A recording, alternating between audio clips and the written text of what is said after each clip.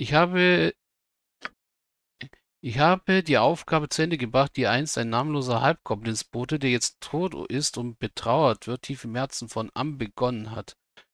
Miriade hat den Brief ihres Mannes aus meiner Hand empfangen und ich bin froh zu hören, dass es um seine Sicherheit gut bestellt ist. Sie hat mir einen Ring zum Geschenk angeboten, der mich beschützen soll, und dieses Geschenk erfüllt mich mit Dankbarkeit. Sei es Zauberei oder Aberglaube, ich weiß es nicht, aber ich werde diesen Ring tragen, nicht zuletzt, um mich ihrer zu erinnern. Ja, sehr badisch-poetisch. Ja, natürlich, Schätzchen. Hm. So, ein leere, leere Nachtschränkchen.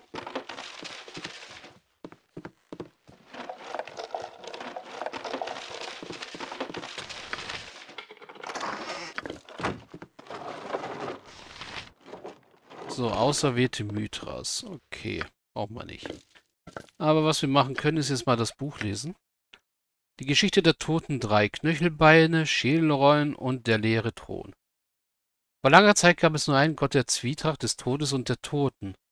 Und er war unter dem Namen Jergal, Fürst über die endgültige Bestimmung aller Dinge bekannt. Jergal blühte auf, wenn zwischen Sterblichen oder anderen Mächten Zwietracht herrschte, wenn sich Wesen in ihrer Gier nach Macht oder nach Macht oder aus Hass gegenseitig töteten, hieß er sie in seinem Schattenreich der ewigen Düsternis willkommen. Da alle Dinge sterblich waren, kamen auch schließlich alle zu ihm, und mit der Zeit konnte er seine Macht zu einem Königreich ausbauen, dem kein anderer Gott das Wasser zu reichen vermochte. Doch letztendlich wurde er seiner Pflicht müde, da er sie zu gut kannte. Ohne Herausforderung entsteht nichts, und im Nichts herrscht nichts als Düsternis. In einem solchen Zustand kann nicht mehr zwischen der absoluten Macht und der absoluten Machtlosigkeit unterschieden werden. In dieser Zeit erhoben sich drei mächtige Sterbliche, Bane, Baal und Myrkul, die nach Jagals Macht strebten. Die drei schmiedeten einen ruchlosen Plan, der besagte, dass sie bei dem Versuch, diese Macht zu erlangen, ihr Leben aufs Spiel setzen würden. Sie schritten auf der Suche nach, nach wirksamer Magie und Zaubern die Längen und Breiten der Reiche ab und entkamen immer wieder nur knapp dem Tod. Welchen Monster sie sich auch in den Weg stellten und welchen Zaubern, sie die, Zaubern, die sie die Stirn boten, die drei Sterblichen blieben stets unversehrt. Schließlich vernichteten die drei einen der sieben verschwundenen Götter, und jeder nahm sich einen Teil seiner göttlichen Essenz. Dann reisten die drei in die graue Steppe und suchten die, die Knochenburg. Sie kämpften sich einen Weg durch Armeen von Gerippe, Legionen von Zombies, Honnen, körperloser Untote und Leichname. Schließlich hatten sie das Ziel ihrer Suche erreicht, den Knochenthron. Ich beanspruche diesen Thron des Bösen für mich, rief Bane der Tyrann. Ich werde euch vernichten, bevor ihr einen Schritt weitergeht, drohte Baal der Meuchelmörder. Und ich werde eure Essenz für alle Ewigkeit einkerkern, versprach Mykul der Nekromant. Jagal erhob sich mit einem müden Gesichtsausdruck von seinem Thron und sagte, der Thron gehört euch, ich bin dieser leeren Macht müde, nehmt sie euch, wenn ihr das wünscht. Ich verspreche euch als Seneschall zu dienen und zu führen, bis es euch in der Rolle wohl ist. Bevor das erstaunte Trio reagieren konnte, fuhr der Todesfürst fort. Wer von euch wird Herrscher sein? Die drei stürzten sofort wieder aufeinander los, während Jäger gleichgültig zusah. Als er schließlich den Anschein machte, dass sie entweder alle drei vor Erschöpfung sterben oder eine Ewigkeit lang weiterkämpfen würden, griff der Fürst über die endgültige Bestimmung ein. Wollt ihr wirklich mit gar nichts enden, nachdem ihr all diese Opfer gebracht habt? Warum teilt ihr diese Aufgaben des Herrschers nicht untereinander auf und versucht euch gegenseitig an Geschick zu übertreffen? fragte Hiergal. Bane, Baal und Myrkul überlegten sich das göttliche Angebot und erklärten sich einverstanden. Jäger nahm die Köpfe seiner drei mächtigsten Leichname und gab sie den dreien, sodass sie sich im Schädelwerfen messen konnten. Jeder Sterbliche rollte einen Schädel über die graue Steppe, nachdem sie vereinbart hatten, dass der siegen sollte, der seinen Schädel am weitesten geworfen hatte. In diesem Augenblick traf Malar, der Fürst der Tiere, ein, um Jagal zu besuchen. Nachdem sie, er sich schnell vergewissert hatte, dass der Sieger des Wettbewerbs Jagals ganze Macht erhalten sollte, lief er den drei Schädeln nach, um dafür zu sorgen, dass der Wettbewerb unterbrochen würde, bis auch er daran teilnehmen konnte. Bainbar und Mirkul begannen erneut sich zu bekämpfen, da ihre sportliche Betätigung offensichtlich gestört war und Jäger griff noch einmal ein. Warum überlasst ihr die Entscheidung nicht der Göttin des Glücks, damit ihr nicht mit dem Raubtier teilen müsst? Die drei erklärten sich einverstanden, Jäger brach von einem Skelett die Fingerknochen ab um sie an die Teilnehmer auszuhändigen. Als Malar von seiner Jagd nach den Schädeln zurückkehrte, musste er feststellen, dass die drei soeben eine Runde Knöchelziehens beendet hatten. Ben rief freudig aus, als Sieger habe ich beschlossen, für alle Ewigkeit als, oberste, als der oberste Tyrann zu regieren. Ich kann beliebig Hass und Zwietracht sehen und alle, die sich in meinem Königreich aufhalten, müssen sich vor mir verneigen. Mykurde den zweiten Platz belegt, erklärte, doch ich wähle die Toten und dadurch bin ich der eigentliche Sieger. Denn alles, was ihr beherrscht, Bane, wird schließlich mir gehören. Alle müssen sterben, sogar die Götter. Baal, der den dritten Platz erreicht hatte, erhob nun seinerseits einen Einwand. Ich wähle den Tod und durch meine Hand wird alles, über das ihr herrscht, Fürst Bane, schließlich an Fürst Myrkul übergehen. Ihr beide müsst mich ehren und meinen Wünschen gehorchen, denn ich kann euer Königreich zerstören, Bane, indem ich eure Untertanen ermorde, und ich kann euer Königreich verkommen lassen, Myrkul, indem ich niemanden mehr töte. Malar schrie wütend auf, doch er musste sich mit dem Ergebnis abfinden, und einmal mehr blieb ihm nur die Herrschaft über die Raubtiere. Und Jergal lächelte nur, denn er war endlich erlöst. Tja, die drei dunklen Götter. Bane, Baal und Myrkul. Hass, Mord, Tod. Also nicht Tod direkt, sondern Tote. Das ist ja so ein bisschen hier speziell der, weil Myrkul ist der Gott der Toten, der sich also um die kümmert, die gestorben sind und nicht der, der sie umbringt, was der Gott des Todes wäre. Was Baal eigentlich auch nicht ist, weil er ist der Gott des Mordes. Also er stiftet Mörder an zum Morden. Wie kann ich helfen? Wie ihr wünscht. Ihr braucht nur zu fragen. Ich werde mich im Handumdrehen darum kümmern.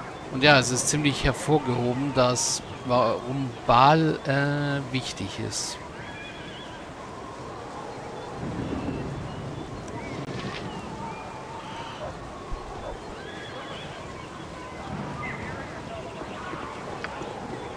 Ich meine, sieht man es noch irgendwo gut. Wahrscheinlich eher nicht. Das ist ja so die Sache mit der Enhanced Edition. Ah, da ist abgesperrt. Wo ihr braucht nur zu fragen. Karl und Jürgen. Ja? Ich hätte nur zu fragen. Ich rate euch, während eures Aufenthalts im Haus euer bestes Benehmen an den Tag zu legen. Ich werde es sehr genau beobachten. Ah, ihr werdet beobachtet. Ich? ich? werde mich im Handumdrehen darum kümmern. Dann beobachtet hier mal.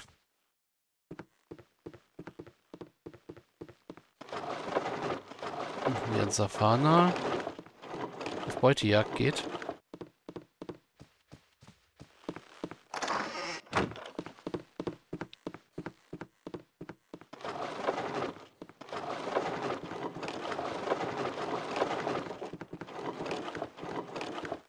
Worum? Ich werde mich im Handumdrehen ja, darum kümmern. Schatz.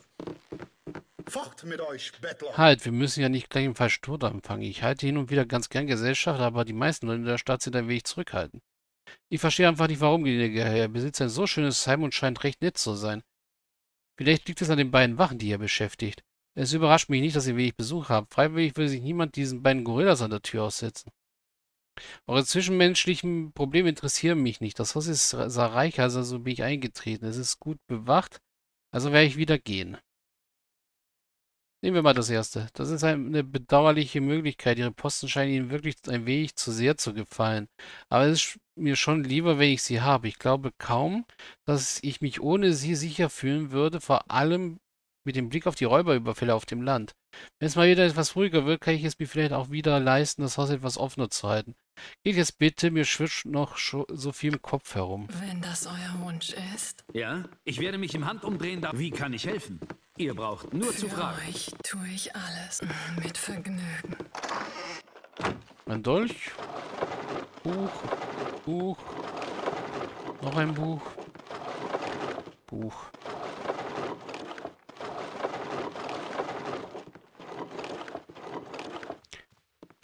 Verschlossene Sachen. Edelsteinchen. Oh, ein Stab. Tränke. Ja, mein Schatz, wenn das euer Wunsch ist. Noch was Verschlossenes? Leer.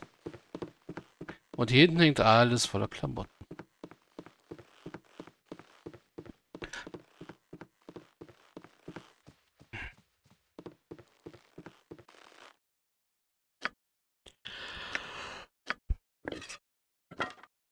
Das hier ist ein Unsichtbarkeitstrank.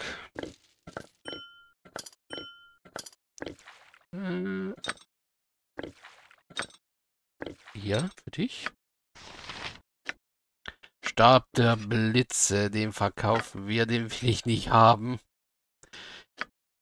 Worum ihr braucht. so mächtig und böse Blitzstrahl auch ist, umso so gefährlich ist das Scheiß auch. So, das heißt, wir haben noch diese drei Häuser hier. Weil in denen war ich definitiv schon drin. Die Türen sind nämlich noch offen.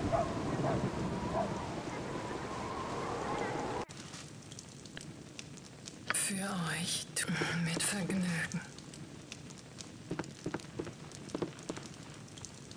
Ja, ihr braucht nur zu fragen. Was habt ihr hier drin zu suchen? Das ist mein Haus. War mein. Ach, ist sowieso ja, egal, ob ihr reinkommt oder nicht. Meine Familie ist bereits auf dem Weg zu unserem Verwandten in Baldos Tor. Ich werde bald folgen.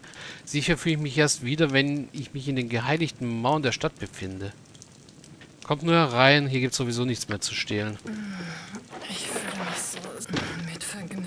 Die vielen Überfälle durch Räuber haben die Bevölkerung von Berg aus in Angst und Schrecken versetzt. Wenn das euer Wunsch ist.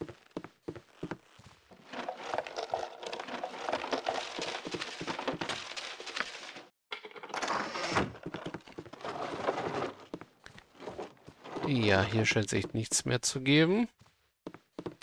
Außer 17 Erfahrungspunkte. Wie kann ich helfen? Ihr braucht nur zu fragen. So, das sind jetzt nur die beiden Gebäude und dann können wir ab zum Tempel. Ja, mein, wenn das euer Wunsch ist. Hier unten ist mal niemand.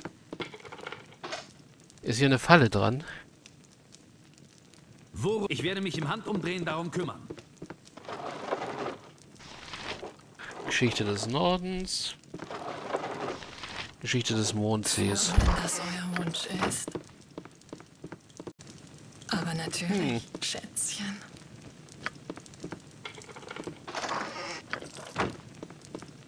Etwas Geld.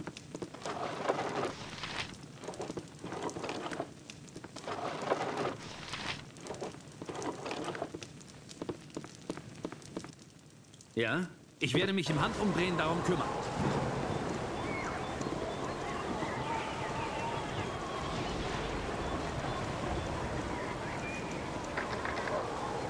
So, letzte Tür. Aber natürlich, Schätzchen. Was hat der denn noch zu sagen?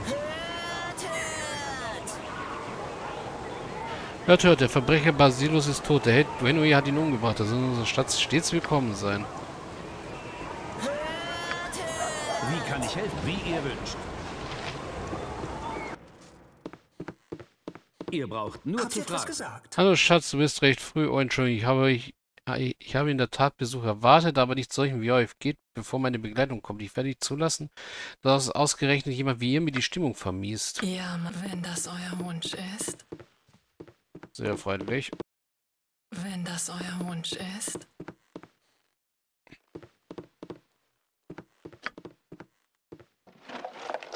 Geld und Ring. Nichts. Nichts.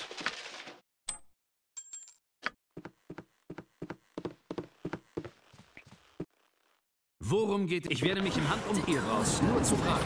Wundervoll. So viele leichtgläubige und dumme Menschen auf einmal. Oh, Safana gibt mal so einen Kommentar ab. Hm.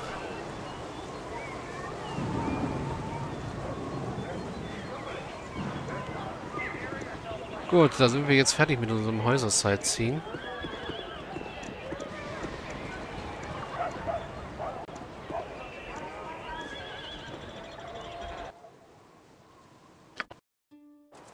Wie ihr wünscht. Dann können wir uns jetzt als nächstes dran machen, erstmal den Mörder Basilus abzugeben und dann hier alles aufzudecken.